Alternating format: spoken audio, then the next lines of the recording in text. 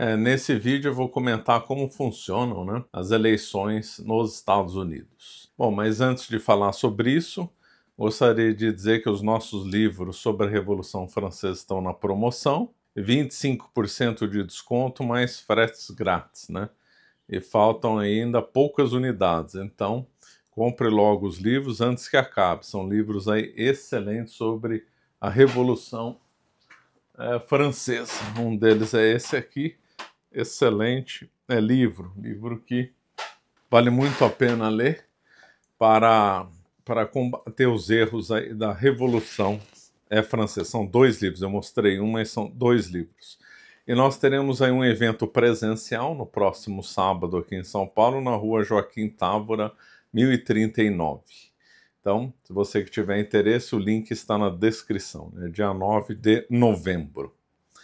Bom, muito bem, vamos ver um pouco sobre os Estados Unidos aqui. Então, como é que funcionam as eleições, né? O colégio eleitoral dos Estados Unidos é formado por 538 é, delegados. Então, na prática, é, a eleição nos Estados Unidos é indireta, porque a população vota, na realidade, a população vai lá, aponta Trump ou Kamala numa cédula ela vai então indicar um delegado, na realidade vai eleger um delegado, e esse delegado é que vai votar ou no Trump ou na Kamala Harris. É lógico que tem é, candidatos independentes, né? tem vários partidos políticos nos Estados Unidos, só que os únicos que, na prática, vão decidir a eleição são os republicanos ou os democratas, daí já faz tempo. Né?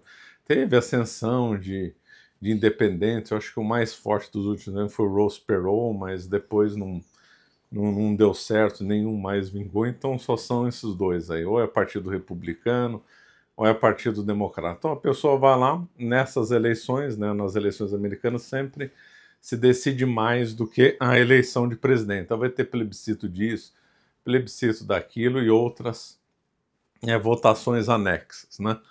E aí quando a pessoa escolhe um presidente, na realidade está escolhendo um delegado, e esse delegado é que vai votar é, em nome de, de, Trump ou da Kamala Harris. Né? Lembrando que os Estados Unidos é uma verdadeira federação, então os estados têm muita autonomia, muito descentralizado.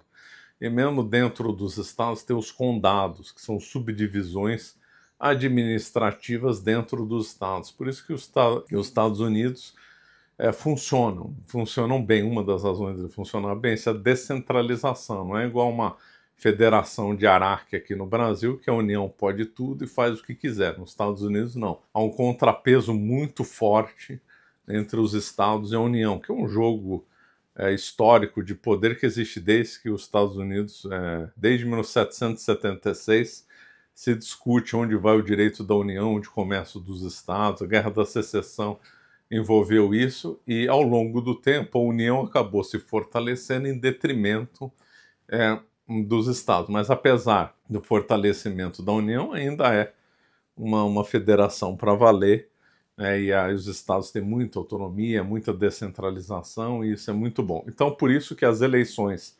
presidenciais, na realidade, elas são resolvidas estado a estado, por isso que não se junta todo mundo votando, toda a população votando, e se a população votou mais num candidato, ele é eleito. Não as eleições são resolvidas estado a estado, a estado depois se somam os delegados que seriam representantes desses estados, e aí a soma desses votos é que vai decidir quem é né, o presidente. Né? E aí vale o princípio do, do, do ganhador leva tudo, né? Vencedor leva tudo. Então, pegar o exemplo aí da Pensilvânia. Então, a Pensilvânia ela tem 19 delegados. Aliás, a Pensilvânia é um, é um swing state e que provavelmente a Pensilvânia que vai resolver a eleição, né? Quem ganhar na Pensilvânia vai ser o próximo presidente dos Estados Unidos, porque é ali que está tendo a verdadeira disputa lá na Pensilvânia entre os swing states, é o que tem mais é, delegados, né? Então vamos supor que é, em, na Pensilvânia o Trump consiga 51% dos votos e a Câmara Harris 49% dos votos no voto popular. Significa que o Trump vai ficar com 10 delegados e a Câmara 9 delegados? Não. Significa que o Trump vai ficar com 19 delegados. E se fosse invertido também, se a Câmara Harris ganhar 51% dos votos e o Donald Trump 49, a Câmara não vai ficar com 10 delegados e o Trump 9. O vencedor leva tudo. Então, se ganhar por um voto, o vencedor vai ganhar todos os delegados daquele estado. Só tem duas exceções, né, que é Nebraska e o Maine, né, que aí tem uma certa proporção mas todos os outros estados têm. A Califórnia tem 55 delegados. Então, se tiver um apertado, o vencedor vai levar 55. Já adianta. A Califórnia é democrata, acabou ali é da, é da Kamala Harris, ela vai levar 55 delegados, assim como Nova York é dos democratas, também vai levar os delegados de Nova York. Agora, a Pensilvânia é um swing state lá e que vai ser decidido. Ninguém sabe quem vai vencer lá. Né? Esse princípio né, para muitos achando injusto esse negócio de delegados e tal, que é meio complicado, que deveria ser o voto direto e tal, não. Eu não concordo porque porque justamente para preservar é o conceito de federação. Então, por exemplo, lá na Pensilvânia, quem ganhou a eleição naquele estado foi o Trump ou a Câmara. Então, o próprio estado vai, então, indicou o vencedor para o colégio eleitoral dos Estados Unidos inteiro. Então, é por isso que essa do, do vencedor leva tudo parece para uns injusta, mas se a gente for analisar pelo ângulo da federação e pela descentralização e autonomia dos estados, não é injusto, porque é, ele foi, ele venceu no estado, então o estado é, vai indicar esse esse vencedor para o colégio eleitoral da União. Né? Então não acho, não acho incorreto. É uma coisa tradicional, uma coisa que está arraigada na, no sistema eleitoral dos Estados Unidos, né? Os Estados Unidos é muito ligado a certas tradições, isso é uma outra coisa que faz eles serem uma potência, as coisas organizarem bem, que é respeitar leis, respeitar as tradições, né? A Constituição dos Estados Unidos só teve uma Constituição em toda a sua história, de, de mil a lá, de, quando é que ela foi promulgada a Constituição? Agora me deu um branco, 1783, eu acho, né? Bom, agora me deu um branco a data. Então, os Estados Unidos só tem, só tem uma condição. O Brasil já teve várias, né? Então, uma das razões da desgraça aqui do Brasil, além de não ser uma federação para valer, também não tem respeito às leis, as leis ficam mudando toda hora, Constituição emendada lá e tudo, né?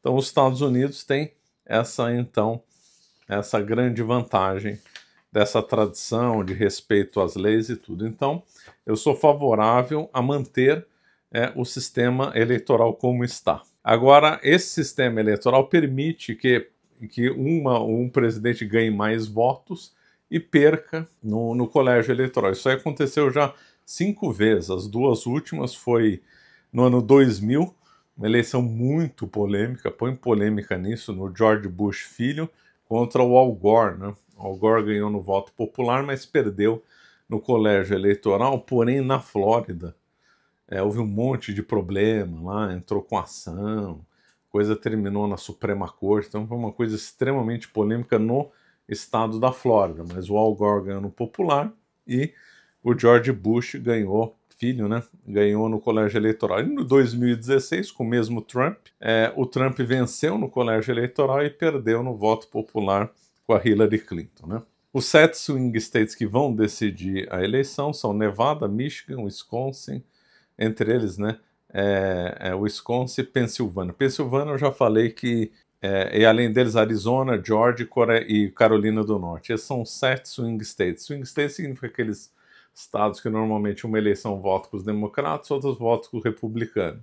Califórnia não é swing state, sempre está votando com os democratas. É, Alabama não é swing state, sempre vota com os republicanos. Agora, esse sete, isso aí muda, né? Daqui a uns anos pode ser que sejam outros swing states. No passado eram outros swing states. Então esses sete estados que eu falei, Nevada, Michigan, Wisconsin, Pensilvânia, Arizona, Georgia, Carolina do Norte, que vão decidir a eleição, especialmente a Pensilvânia, que segundo os analistas é lá que vai ser decidida a eleição. Quem ganha na Pensilvânia é, leva a presidência da República e tem 19 delegados. Né? Bom, antes de finalizar, eu gostaria de dizer que ah, o BWay, né, a escola de idiomas do Jonas Bressan, está numa promoção imperdível, hein? Tem o link aí na descrição. Então você que não sabe inglês está perdendo muito tempo. Inglês é fundamental para viagens, fundamental para o trabalho, fundamental para o estudo. Imagina uma pessoa que quer se dedicar ao estudo e não souber inglês, está liquidada, né? A pessoa vai viajar, não sabe inglês, vai, vai, vai ficar, vai pegar muitos apertos ainda em viagem, ascensão profissional, etc. Então não perca oportunidade, faça logo o curso Bio que está com uma promoção imperdível e ele está na versão 2.0 melhorada, né? E ainda com um desconto impressionante. Acho que o Jonas é, Bressan é, enlouqueceu. Então faça logo o curso Biway, meu filho fez, gostou é, bastante, muita gente está fazendo e está gostando. Não perca essa oportunidade. É, e antes de encerrar mesmo, é, volto a reforçar o convite para nosso evento presencial no próximo sábado e também para promoção dos nossos livros com 25% é, por cento de desconto. Né? Ah, antes de concluir, vamos dar um chute aí, um palpite. Né? Quem vai ganhar a eleição? Para ganhar a eleição são 270 delegados, né? que seria do, 269 delegados mais um. Né? Vamos supor que se tivesse um empate, aí a Câmara no, dos Deputados é, de, decidiria pelo desempenho. Já teve um empate em 1800, teve um empate, e aí a Câmara é, resolveu né, o, o, impasse. Né? Mas é, ultimamente isso só aconteceu em 1800. Não se, não se espera que dê empate mais. Né? Então, qual que seria o chute aí meu?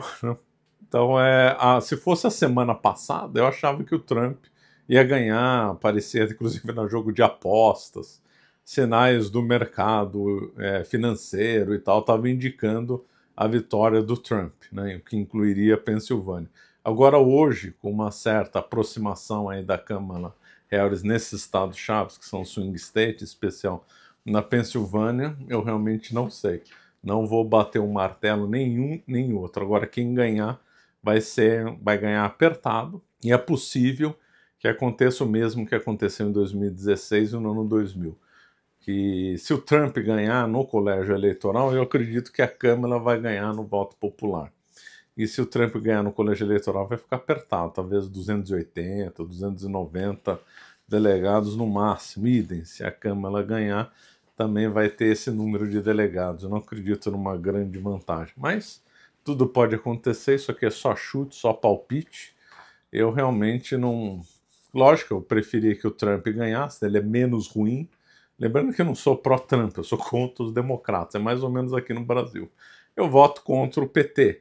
Lá nos Estados Unidos eu votaria contra os democratas. Eu não tenho simpatia nenhuma pelo Trump e nem pelos candidatos que aparecem aqui no Brasil. Eu voto contra o PT e sou contra os democratas. Preferi que tivesse um nome melhor que o Trump, assim como muitos republicanos. O Trump não está longe de ser uma unanimidade, longe, longe, longe. Muitos republicanos e americanos preferem um outro nome. Isso é o que apareceu.